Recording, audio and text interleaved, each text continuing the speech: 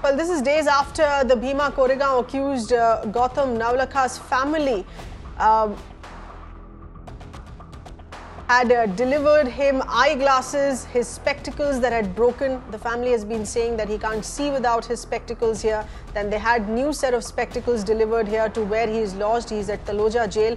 Uh, Navlakha's partner Sahba Husain has now confirmed to Mirror Now here uh, that uh, Gautam Navlakha received the spectacles this morning. Uh, she said that the courier was sent by her five days back to Taloja jail.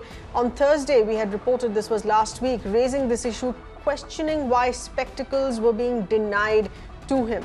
Now, the jail authorities have accepted the same parcel here, which had, they had earlier refused to accept, citing security and COVID concerns. Our correspondent Santya is getting us more details here.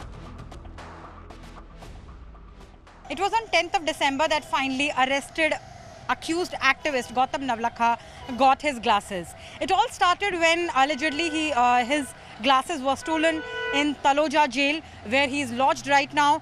And according to his partner Sahba, uh, he, uh, he asked for a new pair of uh, uh, glasses. But when the family of the 70-year-old accused sent it to Taloja jail, they did not accept the parcel, citing security reasons. When the matter reached court at that time, Bombay High Court once again pulled up Taloja jail authorities and said that something as basic as glasses, is it something which can be denied?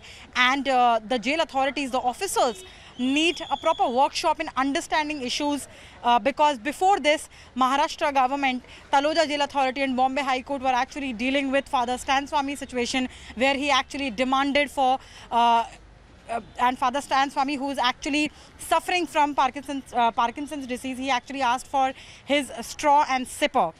And talking about Gautam Navlakha's glasses, now Taloja Jail authorities are claiming that uh, the earlier parcel, which according to family was sent to them, uh, they never received the uh, parcel, but on their own they arranged for Gautam Navlakha's glasses and provided it to him on 10th of December itself.